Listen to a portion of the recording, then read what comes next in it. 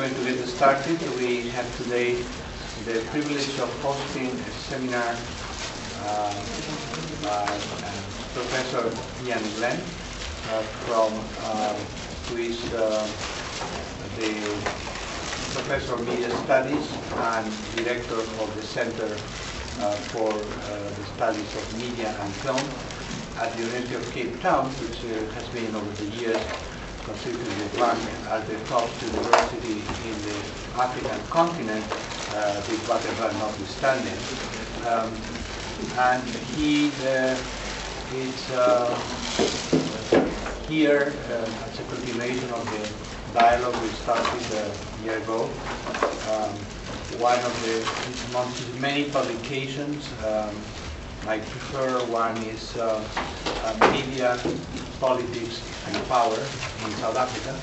Uh, and um, I must say that when um, last year we, we, I had one of the most interesting intellectual experiences I, I, I have had in a long time uh, when uh, he invited me and, and Maki Figueroa to a luncheon seminar, long seminar, with uh, the faculty and graduate students of the Department of Media Studies at the University of Cape Town. And that was a fascinating discussion, um, really on the cutting edge of communication and, and network analysis and, uh, new technologies of communication.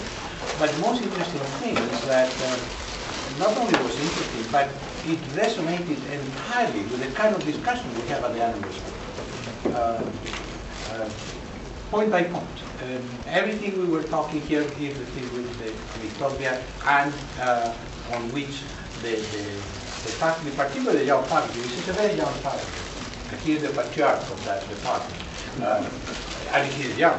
Uh, so um, but uh, that, that was really interesting. And, and then from there uh, came the idea that one, we, we should really uh, continue the dialogue, not only among ourselves, but, but also bring in the Annenberg community into that dialogue. So I'm happy that finally he could make it, and we are here today to listen to what he has to say and also to engage in, in, in the, the broader issue for redefining the relationship between politics, identity, and media in South Africa.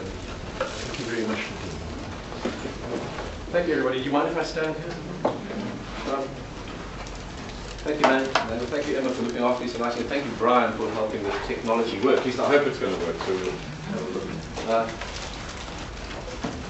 I suppose in any good rhetoric thing you start with establishing character, and I wanted to play you something because I thought it would explain what happened to me as an impressionable first year university student. Let me just click on this.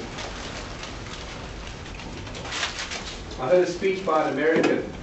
The Chancellor, the hmm. Vice Chancellor, Professor Robertson, the Diamond, the Daniel, uh, ladies and gentlemen.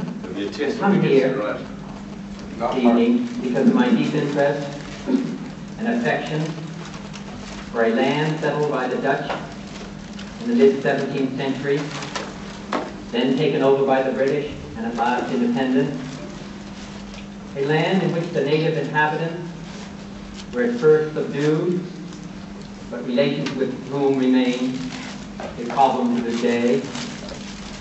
A land which defined itself on a hostile frontier, a land which attained rich natural resources through the energetic application of modern technology, a land which was once the importer of slaves and now must struggle to wipe out the last traces of that form of bondage. I refer, of course, to the United States of America.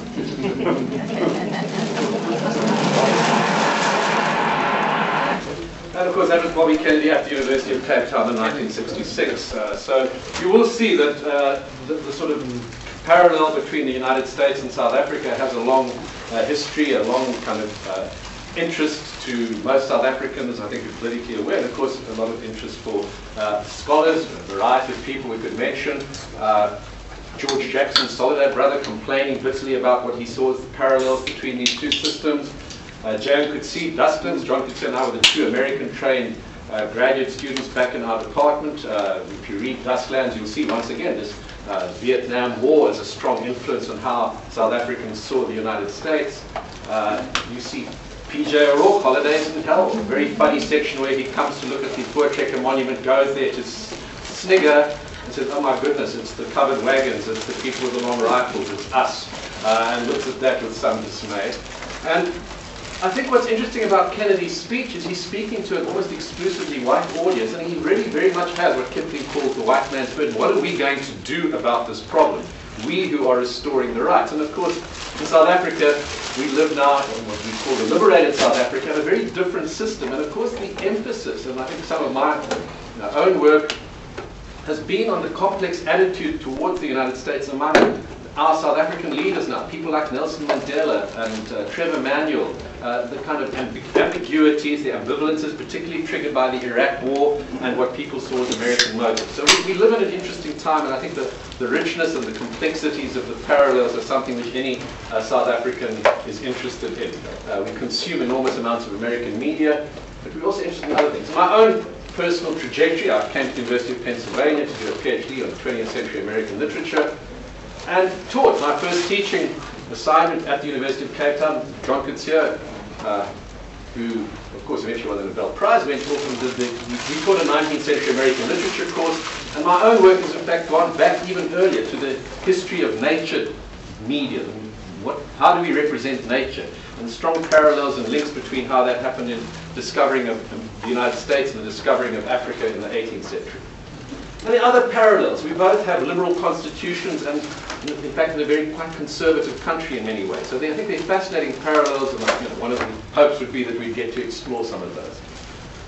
What about media images of South Africa? I'm teaching a course at the moment on the Soccer World Cup and the media surrounding that.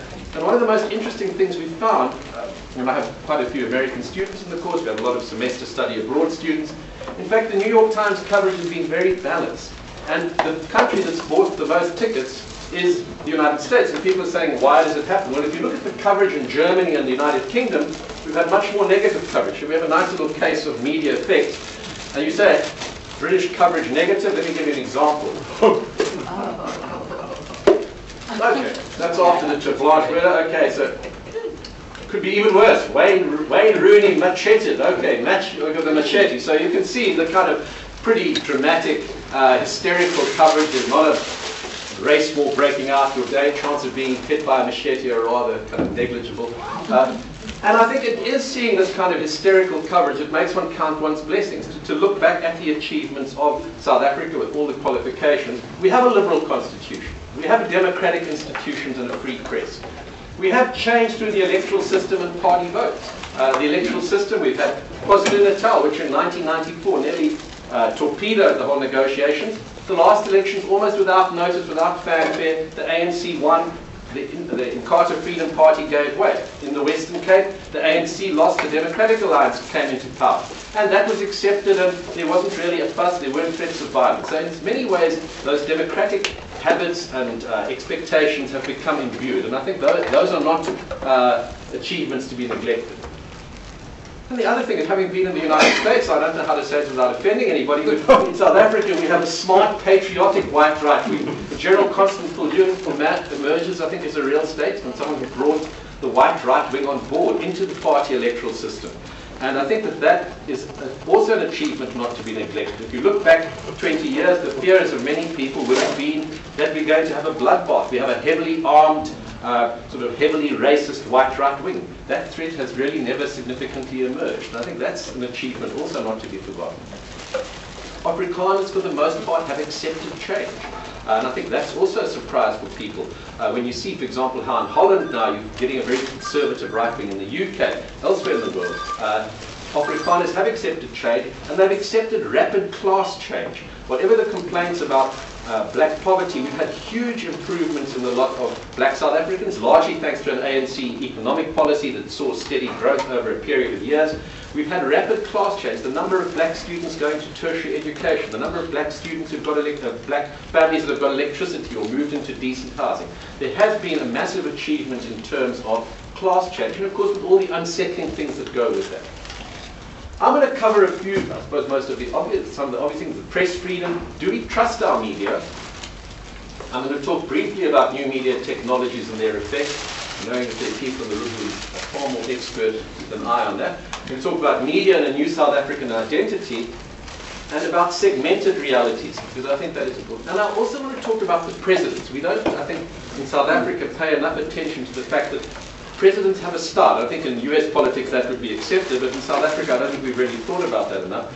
And I'm going to try and lure you or lure the interest of some of you by talking about research traditions and research resources. I think South Africa has amazing research resources, and I'm hoping some of you will want to take advantage of. Monday's talk, I think, was very sort of made me change or think again about some of the things I was going to talk about. We do have a free press, and that does build democracy. And there's a great quote by Melville when I was teaching that 19th century American course. One of the great quotes, I think, is uh, when you have that, you, you do have hope for the future. The future is the Bible of the free. I think it's one of the great optimistic quotes of the American 19th century. Well, do South Africans use media? And I think we have a fascinating parallel. We, that media freedom isn't an empty freedom. It reaches people. It reaches the bulk of South Africans. We have quite, I think, 90% of people who listen to radio. Radio, and I think several people here have said it's a, a really important medium, huge reach. Uh, and that's largely SABC, often in indigenous languages, a heavy television use. And then a fascinating phenomenon. You'll see there 67% of the people are reading newspapers just about the time of the election. And then there's a kind of apathy after election. We're fed up with politics. We don't really want to know about it anymore. We've got the new South Africa. We don't really need to have that. The, the average engagement, South Africans are not that political. Strange enough, one of the things that we found out, South Africans, after the election, we want to get on with our lives. We've got it. We've got the miracle. We don't need to follow that anymore. And we see this quite sharp drop-off in following uh, sort of coverage of or people reading newspapers, and only now picking up again after 2004, the rise of the black tabloids like the, the Daily Sun.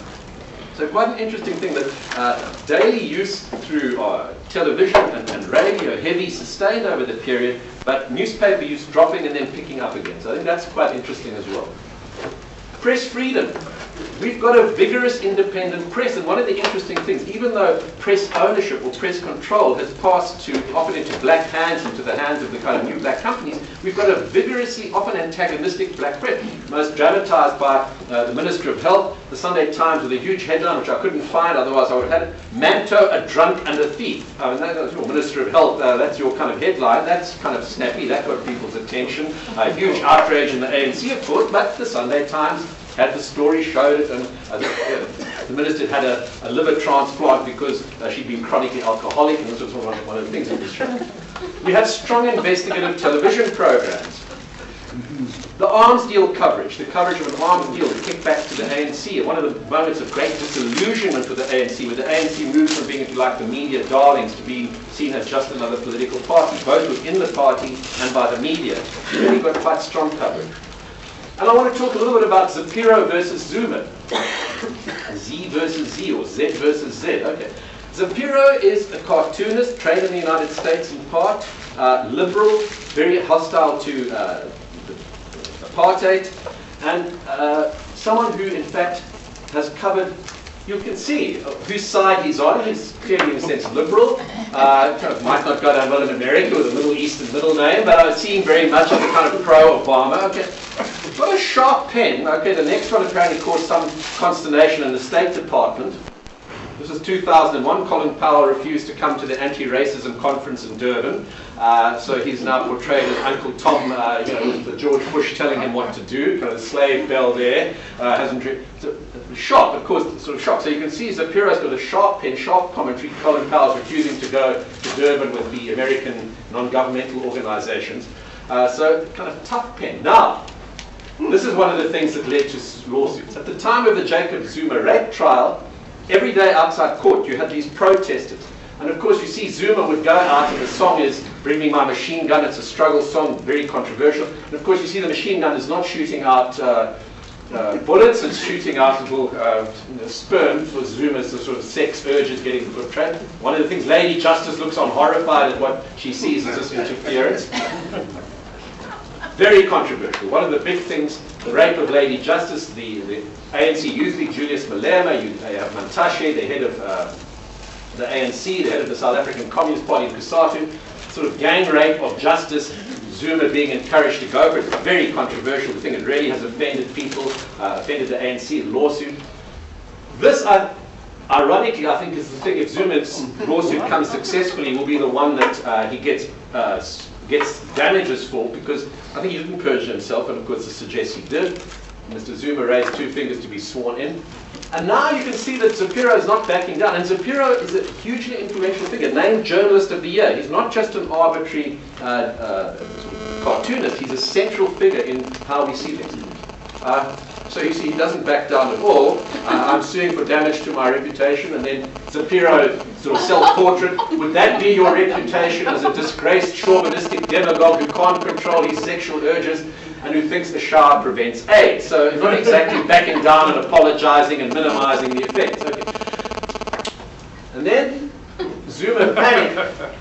Uh, Zuma Simpson becomes president. You see the little thing there, cartoonist jail, the sort of rather grim view of what's going to happen. Of course, nothing like that's happened. Zapiro carries on. We have uh, the president. So maybe slightly alarmist, the view of what would happen under the new presidency. So that's it.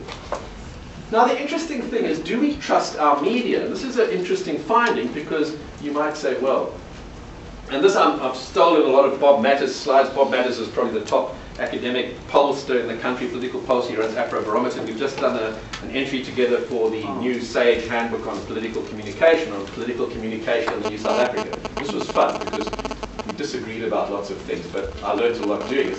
And I think one of the interesting things is there's a difference between the elite discourse and the larger view. And I think the other thing is Stan Greenberg has written a very interesting book on working as an advisor. He has a very interesting section on working with Nelson Mandela and Mbeki. And he comments on the sophistication of South African voters. They're not to be fooled. Uh, trust the public. Trust your voters. Your voters are smart.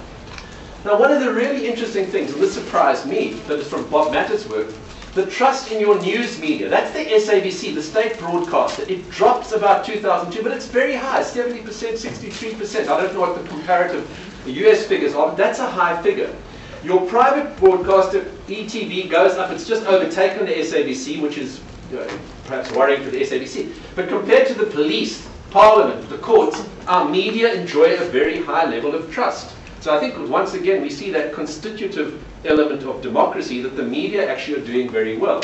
Higher than courts, higher than parliament, higher than armed. The police are widely regarded as uh, still corrupt and taking bribes and so on. But that's positive. Heavy media engagement and quite heavy trust in the media. And then why, why are the newspapers so low though? I mean, you've got ABC and TV, SABC, but the newspapers are way down at the bottom. Yeah. I think it would be interesting. Uh, that's a good question. Whether that's uh, partisanship or something, uh, pass. I'm going to pass on that one. I think it's a very shrewd question. I think your black voters would tend to regard a lot of the white, largely white newspapers as a suspect. They seem perhaps as more ideological. I think also some of that would be tabloids. And the tabloids would be regarded perhaps with some suspicion. But I haven't got a better answer than that. So one of the things I think is that to talk about the state broadcaster, because I'm sure many of you uh, have a suspicion of state broadcasting, well founded, how in countries like France or in many places in Africa, the state broadcaster becomes a voice of his master's voice, a voice for the uh, dominant party of the day. I think what's happened in South Africa is a far more nuanced and a far more interesting thing. The big issue to me is the state broadcaster gets a tiny percentage of its revenue from the state and from television licenses. The bulk of its revenue, something like 85%, has to come from advertising. So, in Elihu Katz's famous phrase about segmentation, deliver us from segmentation, the state broadcasters had to segment its television channels and segment television news. So I, as an English-speaking white South African, do not get the same news from SABC TV as a Xhosa-speaking viewer does, or a Sotho-speaker viewer does, or an Afrikaans viewer does. So one of the worrying things is we're not getting the same news. So the whole issue of news and the public sphere is a really complex one. Because although we have a state broadcast and a public broadcaster, you've got a kind of balkanized news service. Although they're sharing resources, we're not getting the same news. And I think that's a really interesting question, and I don't think that's ever really been seen in another state broadcaster. So we have, a, I think, a really interesting state organization. Manual in the room here, I feel on thin ice. And Emerson said when on thin ice, the devices skate fast. So if I skate fast over this section, you'll know it's because I feel that I'm really not uh, the expert here. Fascinating work, though. Let me just highlight some of the things that I think are really interesting. The digital divide and cell phones. I think we get a story which is contradictory or tension.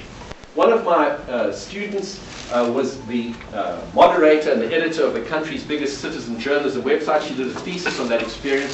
And her sense was, if you like, still fairly pessimistic, that on the internet, to those that have shall be given, that the educational and financial advantages of particularly white South Africans translated into them having, if you like, a more aggressive web presence, uh, being more exclusive, uh, that in fact you had a higher access, and that the realm didn't really function as a realm of um, the public sphere uh, that it could ideally have done because it was still dominated by, if you like, the wealthy, uh, better educated minority.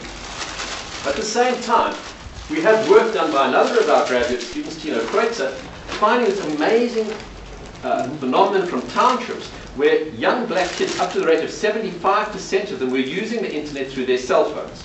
So the question is, well, what kind of internet access is it? It's through something called Mxit, which is a very cheap way to get on the internet. Uh, what kind of richness of experience is there? But South Africa has the third highest or the fourth highest rate in the world of people going onto the internet via cell phones.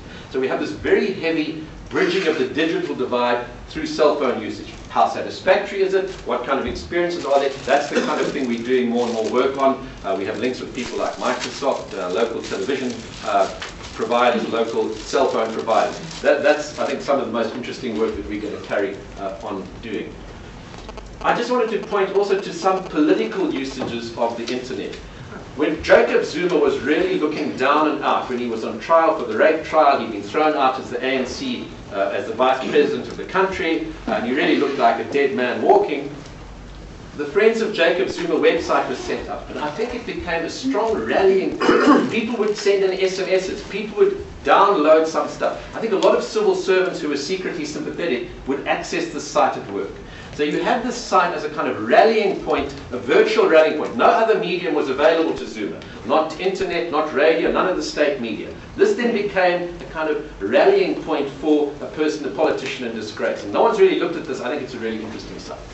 We have the fact that we have a president who communicated largely through the internet. The ANC Today website was a place where Thabo Mbeki communicated at great length, often very controversial. I think, well, once again, the ANC flirted with the idea of having its own newspaper, settled eventually for the ANC Today website. Really interesting thing, if you might say, well, Jacob Zuma doesn't find media space. If you're a white, you put this slightly racist, well, where do you go? If you're white and you're very unhappy about what's going in the country, this is not something you can say publicly. Either it's embarrassing, or else it's something which, in fact, uh, you're not going to find space for in public media might to some extent in talk radio, and I'm going to come back to talk radio, but expatriate websites be, have become a site for white anger. Uh, often, look at what's happened. Look at what the crime rate is. So a lot of the websites are expressing uh, discontent, dismay at what's happening in the New South Africa. Now, we have, how strong can national identity be in the New South Africa? We come from this apartheid state. We have 11 official languages. We have a strong policy of affirmative action, which is resented, obviously. We've got resentment and disillusionment, high rate of violent protest. We've got a high rate of white immigration. So what do we expect that national identity would be? Well, I think we have staggeringly high figures. How many people say they're proud to be South African? The rate is 90, over 90%. How many people say being South African is an important part of the self? Over 80%. How many people want their children to be South African? Our figures for all these are high. So there is a strong buy-in to the notion of being South African, seeing that as a key part of your identity, seeing that you want your children to be South African. How many people think it's desirable to create a united South African nation over time? Even white South Africans, you can see an increase from 58% in shortly after uh, coming up. That figure goes up and up. So in other words, although the black figures come down to some extent, I think in general you see a, a, strong sense of a kind of desirability of national unity, of moving towards uh, a nationhood, not sort of moving towards a new apartheid of any kind. And I think Bob Mattes's conclusion is uh, quite interesting. This is from the paper and research he's done. Uh, got a near consensual agreement among citizens that the legally defined political community is the appropriate one, that they are indeed members of that community and that they are proud of that membership. And I think that's an achievement that's not to be uh, kind of dismissed. I think that is a signal achievement. It's thanks to a lot of things. I think media played a role. I want to talk a little bit more about that. Did media help? Well, once again, the comparison with the United States, I think, is very interesting. If we, by some surprise, had the Democratic Alliance in power tomorrow, what policies would change? Well, affirmative action policies would change. Very little else would. I think, would foreign policy change? Would economic policy change? No, very little else. In other words, we've got policies where they cope uh, the Democratic Alliance or the ANC were in power tomorrow, it would be very difficult, I think, to say what exactly would be the policies that would change, except around issues of affirmative action and how aggressively that were to be pursued. The argument of the Democratic Alliance is we have a corrupt group of people in government, not the policies on X or Y are particularly wrong. What is B? BEE, sorry, Black Economic Empowerment. Sorry, it's, a, it's uh, the uh, sort of South African slang or South African jargon for affirmative action. In other words, uh, for, in terms of government contracts and so on. Uh, is there another American phrase besides affirmative action? It would be tendering processes that give preference to uh, black firms or black companies. Equal They're employment. I think we've had an acceptance of democratic public change in the media. The media pushed this, if you like, fairly relentlessly. I think the other fascinating comparison, I don't know if anyone here works on talk radio in the United States, where the assumption is talk radio is a right-wing space. I think maybe maybe a right-wing analytic. But talk, talk radio in South Africa, I think, has had a very positive educating force. I think it is a place where white South Africans or people are unhappy about things vent. But the role of the moderator is always to remind people of the achievement, of the other side of the uh, coin. People phone and complain, but you have to remember, if you were on the wrong side of apartheid, how would you feel? Or on the other hand, a black South African phones the person says, well, what do you think on the other side? So the, the role of the moderator in talk radio, I think, has quite a different role from America, where, if you like, it seems that there's an amplifying effect. Why is that the case? Why should it be the case? I think that would be quite an interesting comparative project. Sport. Sport is a huge builder of national identity, perhaps because for us the most important sporting events are sporting events played against other nations. So in other words, it's not us against Cleveland or us against another team or another region, that matters, but the key events are if we beat the Australians, we all walk around with a beam on our faces. Uh, if it's not quite as important, maybe in some terms as Barcelona or Milan, but these things matter. Okay, so the question of how we see sport, and of course that national moment of national identity is absolutely crucial. Advertising has been a huge force in nation building. Our commercial, our, our people who do advertising are really strong in this. From before apartheid, I've called this beer page, I want to play you a clip. South African brewers have been very interesting. They got into trouble with the apartheid government because they showed people of different races drinking beer together before the end of apartheid. And the government was trying to stop them, saying, you can't do this. And they said, what are we doing? I want to play you a clip. Okay. Uh, very, Beer and sport national identity. I always said that. So the quality is not great, but you'll get the idea. He's got a kind of South African rugby jersey on. South African footwear as well, you'll see.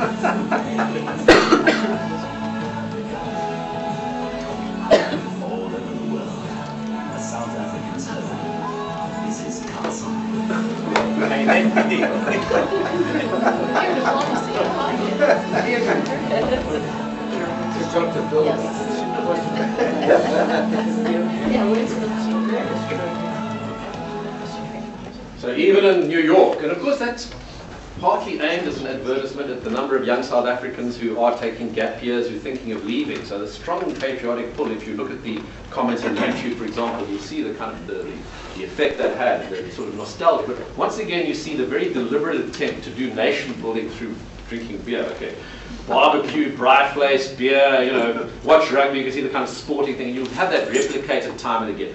And I have to say, if anybody understands the way black consumers in South Africa are thinking it's South African brewery, they've investigated it more than any political party, any academic, anybody. So it's quite interesting. Their ads are very finely tuned, I think, to the kind of appeal or the kind of issues that are concerning you.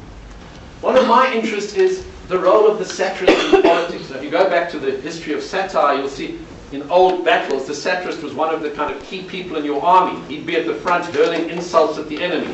Now, sometimes I think American politics, boy, that's rather similar. You know, have the kind of satirist out the front yelling rude things about the opponent. Uh, I think South Africa, we've got a rather different thing. Sorry, you, you can see I did a PhD in English, so forgive me. Okay. Uh, if you look at the English 18th century, you see a phenomenon where satire comes in after you've had civil war. Catholics and Protestants killing each other on matters of doctrine. What does the satirist do? The satirist says, let's find the sensible common ground in the middle. Let us make fun of the extremes. Let us, on the one hand, the papists do that and the mad Protestants do that. Let us find a common, ideologically kind of more neutral ground. And I think that's far closer to what we have in South Africa. That we don't have the satirist as the person who, if you like, encourages the extreme, but the satirist is the person who stands on the middle ground. And it's very interesting after the most recent uh, murder of Eugene Terre'Blanche and Malema at the same time stoking the fires and singing kill the farmer, kill the Boer, the reaction of newspapers was not to take one side or the other, but to say, chill, you know, chill, cool down. Uh, let's look at this. We don't want that extreme. We don't want that extreme. So, in other words, uh, whether it's a satirist like Pieter-Dirk Uys, whether it's newspapers, I think that the, the, idea that we have to find common ground or a central space uh, which allows difference, which doesn't engage politics, but which is far more important for us. So perhaps because the threat seems far more real of going to one extreme or the other, the notion of finding that middle ground is something important. Editorials and coverage warn against extremes. We have got segmented realities. There are real problems. Uh, we've got elite Afro-pessimism. Uh, Blood Diamond, I think, catches some of that quite well. The uh, Leonardo DiCaprio figure, this is Africa, that kind of disillusionment, which I think is spread through from journalism into literature, into film. Uh, crime is a big issue. Uh, I think the whole issue of how we see crime in South Africa. Another fascinating issue, and I think this is going to be a key uh, difference down the road, the number of younger women, uh, young black and colored women in tertiary education is something like 40% higher than men. So I think the reality, the gender tension in South Africa is going to get bigger. I think what that means in terms of uh, new identities is something which is really an intriguing issue. The importance of the president. The president in South Africa has a huge structural role. The ANC will ask you to vote for provincial or for, for would be, it would be the American equivalent would be the Republicans would be asking you to vote for the governor of California without saying who that person's going to be. The president is all powerful. You don't actually get a say. The ANC will then determine in due course. So we have a hugely important, this, the, the, all the figures about uh, representation during elections, the president, the leader of the party takes more and more importance. So the style of the president, I think, is very important. Mandela, uh, many of you may have seen Invictus, that moment where Mandela comes onto the, uh, the rugby field in the Springbok jersey, uh, Dayan and Katz talk about media events. They talk about media events having a shamanistic possibility. I think that's actually the best example ever. That shamanistic possibility, Mandela transforms himself into the, the enemy, the white figure. For white South Africans, it was a collective gasp. Mandela is wearing the Springbok rugby jersey. Nothing was ever quite the same after that. So it's a wonderful example of that media event. And I think, of course, the film tries to go back to that and capture that. And maybe we have questions about that. Uh, my comment would be that Mbeki, I think, is really interesting. In one way, the, the you know, president with huge approval ratings, as recently as 2006, higher than Mandela ever got, 77% positive ratings. In many ways, a highly admired president, and yet fatally flawed because of the denialism about AIDS, and I would say the denialism about crime.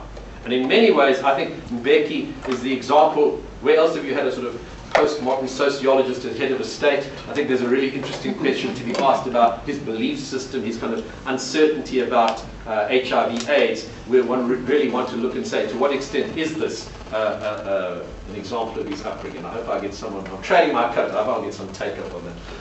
Motlanthe, I think, was interesting. We forget we had this placeholder president, of ours, the Gerald Ford of South Africa. You know, we mm. threw out one president, and there he was for a few. But in a way, what was good was the country didn't fall to pieces. We had this new guy as president, and the world went on, and then a new president was elected. So maybe that was also reassuring in terms of the kind of maturity of our democracy, that we could carry on in spite of that.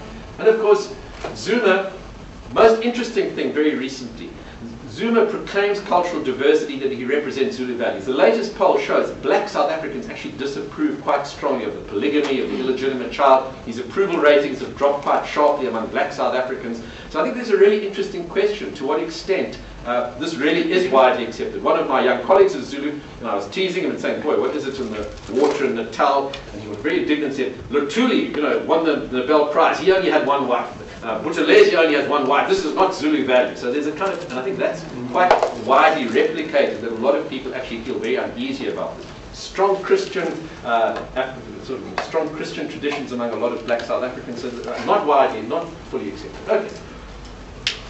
This is a word from our sponsor, so to speak. Okay, researching. Uh, South Africa has had, I would say, a very long uh, and I think very sophisticated and quite reliable research tradition. Uh, all the advertisers in the country put 1% of their budget towards something called, uh, that, sorry.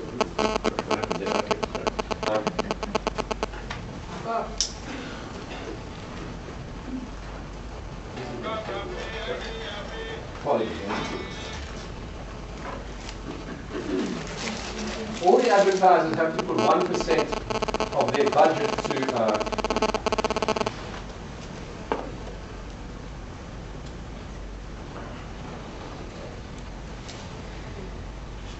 Yeah, sorry. Okay, yeah. All advertisers put 1% of their budget to a research foundation, which is run independently, which uses people like Nielsen. So your AMPS figures are figure on media usage and on consumption. So you have really sophisticated figures. So you have ARs, television, uh, radio uh, ratings. I think there's a lot of material and it's been there over time. Millward Brown do what I want to do some comparisons on. They have recorded in a pretty reliable way how well people like new television ads from the time of the new South Africa. So you've got every new television ad has got ratings by racial and other groups. So how well do people like humor? How well do people like the use of children in ads? How well do we like animated ads? I've always thought that could be actually a fascinating social ground, particularly because of the importance of advertising in trying to create national identity and trying to build multiracialism. So that would be perhaps an interesting thing. How well does an ad play in the United States compared to the way it played in South Africa? Because often we have uh, similar ads. We have a lot of good academic work. Uh, Bob Mattes, of whom I spoke, runs Afrobarometer. We've got household poverty surveys. We've got a whole database of UCT called Data First. I think there are there's a lot of data that we're not using enough. Media Tenor South Africa are another commercial organization. They have a branch in the United States. They apply the White House apparently sometimes. Uh, they have branches in Germany, Czechoslovakia, Namibia, elsewhere. But Media Tenor have for 10 years been covering all news media in South Africa, almost all the major newspapers, all the television news. So, for example, if I want to do research on how the Zulu television news shows things differently from the Afrikaans television news, Media Tenor can give me that in a pretty handy way.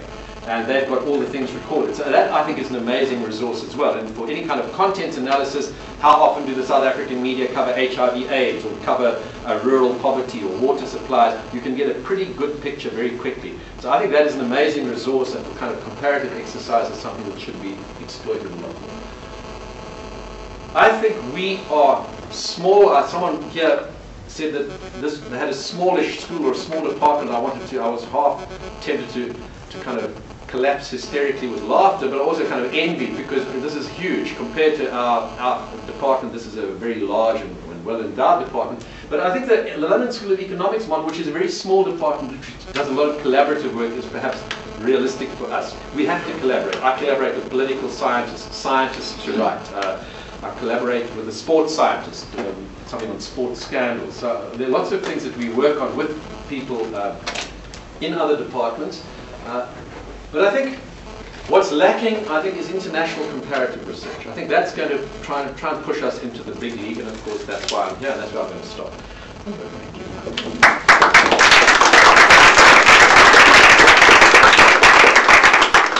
Okay, we have some time for a conversation. Please, Carol. Thank you very much for a really fascinating uh, talk. Uh, Lots of food for thought, both for us here in the in the U.S. I wonder if I could um, push you a little bit more on the slide that you had about presidents. Um, Where does Tutu fit into all of this? Because it seems to me that what, in some ways, the the uniqueness of Mandela and even going into Mbeki's first few years was the, this strong shadowing of Tutu as a religious figure, but also as a public figure. And I'm just wondering if you could speak to that a little bit more.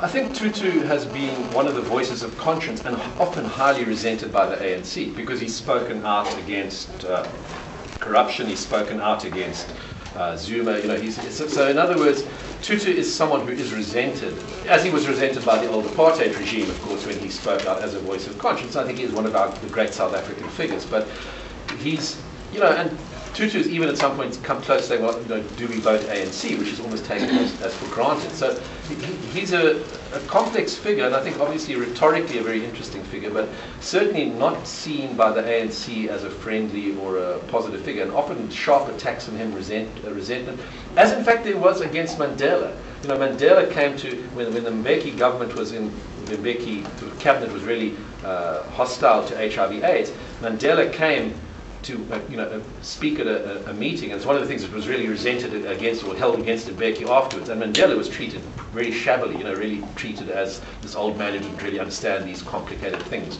and uh, pushed aside more or less. And, and, that was used really as a sort of stick with which to beat Mbeki afterwards. That he'd allowed Mandela to be treated like that. So the old you know, the old sort of uh, voices of, of uh, conscience and reason in the party, and I think in the country, which were really Mandela and Tutu, have got this complex relationship with, with younger people. I, I, don't know if that really answers your question.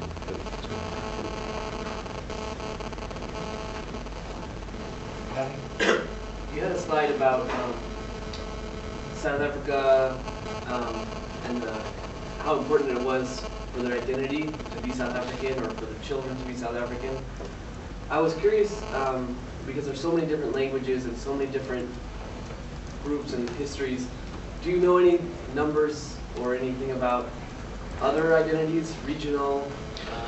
Well, you know, the question was really was, you know, do you identify yourself first as a Zulu, an Afrikaner, an English-speaking South African, or a South African? And, and the, the, the, choice was very much you identify yourself as a South African. And I mean, so, some of Bob Mattes's work, and we couldn't talk about, I couldn't talk about that enough, was people don't want to vote for a party which is seen as a separatist or a particularist party. They don't want to vote for a party which is just for the Sotho. In other words, a party which is not seen as inclusive has you know, a lot of bad things for it. One of the great achievements of the ANC, of course, has been to be the inclusive party, a broad church which includes people and you know, pushes ethnic uh, identity aside as the most important identity. So it's been a huge modernizing force in South Africa, and I think that's really it's that legacy which everyone shares. And one of the big problems for the the Democratic Alliance, it's still seen as a largely white opposition party, and for that reason, for a lot of people, it doesn't look like a home where they'd be that welcoming. So until the DA can become, if you like, a black party or a, a, a seen as a sort of really multi uh, ethnic or multiracial party in the way that it isn't at the moment, I think they're going to struggle. Does that answer your? Yeah. Do you also know like how that came to be? How it came to? Well, I think you know one of the things I suppose I was trying to say is media have worked on it. I mean, it's not just you know it doesn't just happen that the message that you've had from Mandela, from everyone else, has been a message of inclusiveness, of a new national identity, and you know it's coming through advertising, it's coming through a lot of things. And I suppose one of the things you know looking at a very divisive political situation in the United States in many ways is to think, well, how come you have so much more in common and have had so much longer traditions? How come ideological fractiousness seems to be caught on here, whereas it would have seemed much easier for that to catch on in South Africa? It might be really naive analysis, but. Thank you. A question really based on, on ignorance about the rural-urban breakdown. uh, both in terms of numbers and in terms of political power. Because in, in many countries, you know, sort of the population is increasingly urban. But in, in many countries as well, this one included, the rural, less populated areas, for historical reasons, have disproportionate political power. There are things I should have explained, but then the talk would have been a sort of PhD seminar for a long time. Two of the things which I think are really interesting comparatively, and, and uh, first of all, there is no local representation. You know, in other words, you don't vote for a congressman. You vote, you get a proportional vote, and then the political party that gets 10% of the, the uh, people will appoint those 10%. And it's one of the weaknesses of the system that we don't have a congressman or a congresswoman for a particular region to whom you don't complain about potholes or whatever. So that, that, that's the sort of increasing centralization of power. So I think that's one real problem. Uh, so there isn't really a rural area that gets attention. And one of the big problems and the, the reason for the huge number of, of violent protests, uh, as, as, people uh, in, in, poorer areas just feel they've been abandoned by local councillors, they, they're not getting, uh, their voices aren't being heard. Uh, so I don't think that there's a disproportion, there's a disproportionate, almost disempowerment of those areas. They offer media map, the SABC is not covering them adequately, so I think those are real problems. The other really interesting thing, and I think it's a very mixed blessing or mixed picture in a way is we don't have local television news. You know, and this is one of the, the, the, really interesting things that would be worth exploring against the, conventional American wisdom that you know uh, television news drives up fears of crime and so on. In South Africa, we've had almost the opposite, almost downplaying of the country of, of crime. There are 50 murders a day, you know, it's a much higher rate than in United States. But because there's not local television news, perhaps the portrayal of things is very different. Now, on the one hand, if you'd had local television news, you would have covered perhaps rural issues or, or, small town issues in a way you don't at present. On the other hand, maybe it's been a good thing in that it hasn't fueled this kind of hyper awareness of crime. So it's, so it's really the opposite of, of disproportionate political powers? I would say, particularly because your rural, you know, there are two issues. Sorry if I just carry on for one second. It's the white farmers are, you know, see themselves as uh, very threatened. Uh, there's this uh, concern, and it's become one of the factoids in the world. Is the most dangerous occupation in the world is being a white farmer in South Africa. A lot of them have been killed. But the fact is, there's a huge murder rate in any case. Most murders in South Africa are black on black. So you know, it's not. Uh, it's a violent country. There's big uh, huge poverty levels, uh, violent crime is, is a fact of life. Uh, so white farmers would say they're not getting adequate treatment, adequate coverage, but they are compared to others. But it's the real rural black poverty that I think is the really uh, sort of uncovered issue. And of course, there's a lot of migration to the cities. Waiting another to question. The, the gender thing you were talking about, was very interesting, and then uh, Carl's question reminded me of Winnie Mandela, figure of some sort of curious role, and I'm wondering, you know, where she is now. I mean, other than having you know, sort of been on trial. They're making a movie of her, so wait for the movie. Uh, uh, the movie raised fascinating issues. I mean, for anyone who's got interest in intellectual property, there is a sort of paradox. Winnie Mandela got very shirty. She sort of went to the movie maker and said, you can't just copy everything I've said. You know, when you think about it, she has a point. You know, you can't do uh, ABBA and copy their songs, and you know, why should you be able to copy someone's speeches? So the, I sort of had an interesting moment of thinking, sort of sympathetically for Winnie Mandela. The really interesting, the really interesting thing about Winnie Mandela was that she denounced Nelson Mandela recently, and it was a speech picked up by. Um, uh, V.S. Naipaul's wife, and then she denied she'd made the statement. So there's a whole controversy. But what's interesting is what she said, because I think that is actually behind the scenes, what is being said about Mandela, that he sold out to the capitalists and that there's a you know sort of love of money in the leading class. And I think that's the voice that really, if you like, is in some ways driving Malema with his $40,000 Breitling watch. Mean, you might say, how can you even talk like that? But there is this sense of a kind of demagoguery of you know how the ANC leaders have sold out, and that might become a, a more important uh, sort of voice in in the country. I don't know if that answers the question. I would like, I wonder if you would uh, go a little bit further in terms of the very interesting statement that the moderators on the media tend to bring things back to the middle as opposed to those on radio here which amplify uh, that. That's a very intriguing statement. Is it across all the media? Uh, How did you, where do you think that came from? How do you get the moderators to do that? Where can, can we create some moderators? Well, you know, it's partly because you're not going to hire people who. We've had a few controversial figures. Uh, Jani Allan, uh, you know, was a sort of right-wing shock, shock, yes, if you that's a kind of creative phrase, but uh, she she and she didn't last very long. The, the voice of uh, there's an interesting phenomenon as well that often those figures are coloured. I mean, in, in the South African term, so you know they they moderate in racial terms between white and black. So I think that's also interesting. Often that they're seen as the figure who can be a figure somehow centrally in, in, in the country. But politically, I think what's interesting is the typical thing would be you'll get a white viewer phoning or white listener phoning in and complaining about something. And then the moderator will say, yes, but.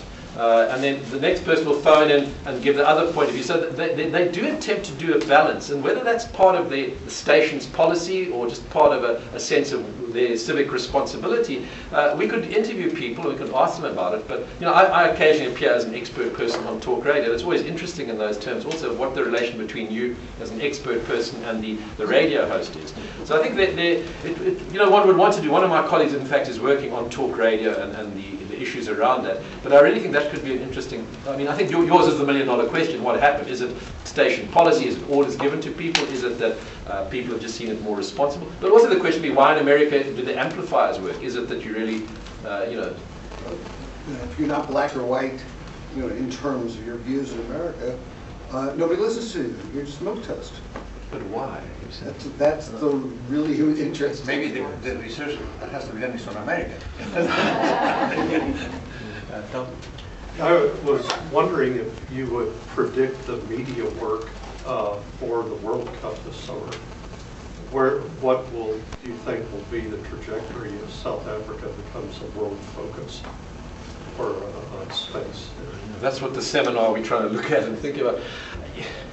The, one of the interesting things, which I don't know that anyone else has ever really found this, maybe people who've worked in other countries have found, but a lot of South African self-image is mediated through what foreigners say about us. Uh, that's this kind of strange phenomenon. I call it the third man theory, or sort of triangulation theory. In other words, you know, it's only when the LA Times or the New York Times or the BBC says something that we really take it seriously. I mean, the, the, the, a good case in point is crime coverage.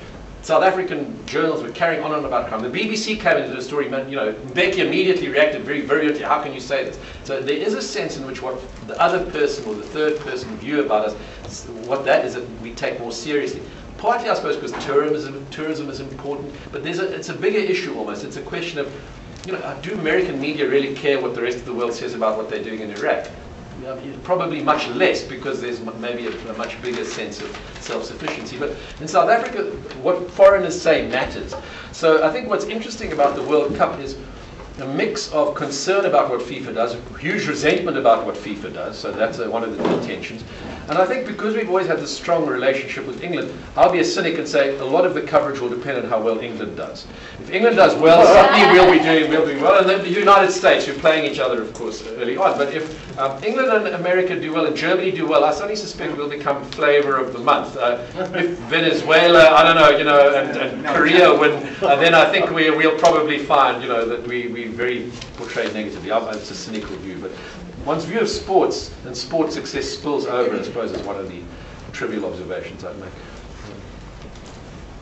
What's your sense of South Africa's relationships to its, uh, its neighboring countries, particularly Zimbabwe?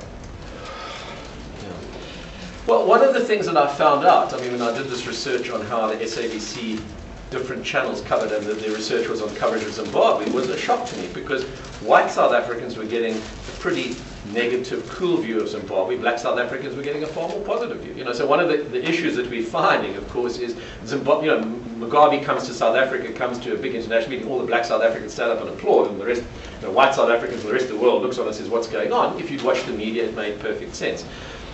So I think that there's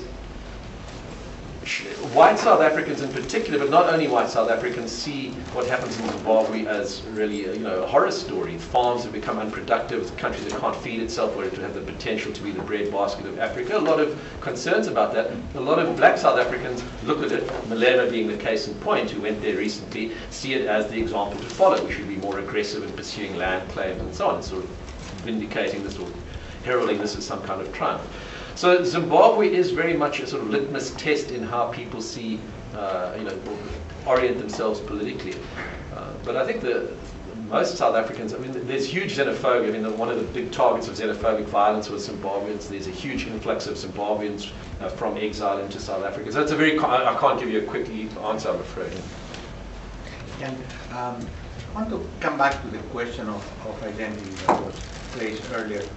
Um, I, I, I, get the sense of the data you, presented, but how much uh, really can we think about the a superseding of the identities, the strong identities. But for instance, uh, clearly the Zulu identity, uh, Zuma believes that this is a strong Zulu identity and practice that. Uh, there's no connection with the Xhosa identity and, and the fact that, that Mbeki was Xhosa and, and that didn't play a role in terms of, in terms of the appointments to, to the government uh, other than the, the, the color and, and, the, and the white. The Xhosa had a much greater part than the Zulus fell. Uh, the Cosa Nostra, as we call and, it. And, okay. Inkatha, and in Inkatha still was, you know, uh, there are reverberations of Inkatha, although Inkatha was, uh, the, the, Zulu party was, was uh, manipulated by the white, but still, uh, because at least in my impression and, and, and the discussion in academia, and, but also in the society, the, the question of different identities that do not contradict uh, necessarily the South African identity, but that construct the identity. And just related to that one, one additional thing, language is one dimension, but not necessarily the most important one, because for me, one of the most striking things about South Africa is that in, in the Western Cape, most of the Afrikaans-speaking people are black. You know, the black Afrikaners. Uh, or brown Afrikaners as well. Yeah. So and, and color. So so this is is a mixture of things. In, in, other words, one thing is that yes, the South African national identity has been created, and this is a great success story. But on the other hand, how the, the, the politics of, of identity plays out. But I think one thing we could say, it's there to be exploited. But, you know, Inkatha tried to exploit it and it didn't work. And one of the things you've got to say about Zuma was he made peace with the, uh, you know, he made peace with that. One of the interesting observations about Mbeki and Mbeki's weakness when it came, you know, when it came right down to the showdown with, uh, with Zuma was Mbeki was mistrusted even in the Eastern Cape because a lot of the traditional Xhosa found it easier to relate to Zuma because he'd come and drink beer with them at the kraal and things like that. Whereas Mbeki very deliberately avoided going to the Eastern Cape because he didn't want to be seen as a Xhosa partisan because he, he portrayed himself very much as this super modern, you know, above regional or ethnic identity. So one of the arguments was, well, he should have played that more. It's a card that can be played. What the effect will be, I'm not, you know, I don't think anyone really knows. Uh, certainly in the elections, it's clear that Zuma and the ANC lost support in every other region of the country except in KwaZulu-Natal. So there, the Zulu identity certainly helped him. But you know, the NEC, the National Executive Committee of the ANC, which is really the key it's the high Soviet, I suppose. They got rid of Mbeki when they turned, and I think the fear of Zuma is if they turn against him, what will happen? That's not ethnically dominated by a certain group. It's voted on by the whole ANC. You can't just have a Zulu faction or a Xhosa faction in that grouping. So I think you know, the politics of the NEC would be resolutely more anti-ethnic. But it's certainly a factor, and you might find a separatist group that tries to exploit it. But as I said earlier, Bob Mattes figures on people don't want an exclusive party. If I set up a Xhosa only party, people would tend to, to go away from it. The PAC, for example, which is black identity, has done very badly. So that, I don't know. I mean, you know, I'm sure you have evidence or, or counter examples, but I, I, I would say this is. I um, am very interested in the digital divide. And of course, I guess the best case scenario is that there is no digital divide. But um, we're talking about Catherine Reese and bringing up some of the issues or the problems if I hear so much about, you know, best case scenario, I wonder what worst case scenario is. And what actually went through my mind when you first started mentioning hers, she's probably a mother who, like me, has to hide the laptop to get the kids out no, to play. no, she's a full-time, no, she's a full-time, she was running this website. Uh, it's, it's, a professional website. It was an offshoot of the biggest sort of news thing in the country. Not a mother that I know. No, she was, she was a young, young, sort of recent graduate who got this job pretty young, and she was running the citizen journalism website. So the, the dissertation was about her experience as a moderator, in fact. So the issue of moderation comes back into it. And, you know, you'd say to people, we don't want, you know, hate speech is forbidden and we don't want flaming, we don't want uh, certain things. And it was her experience of what happened on the website.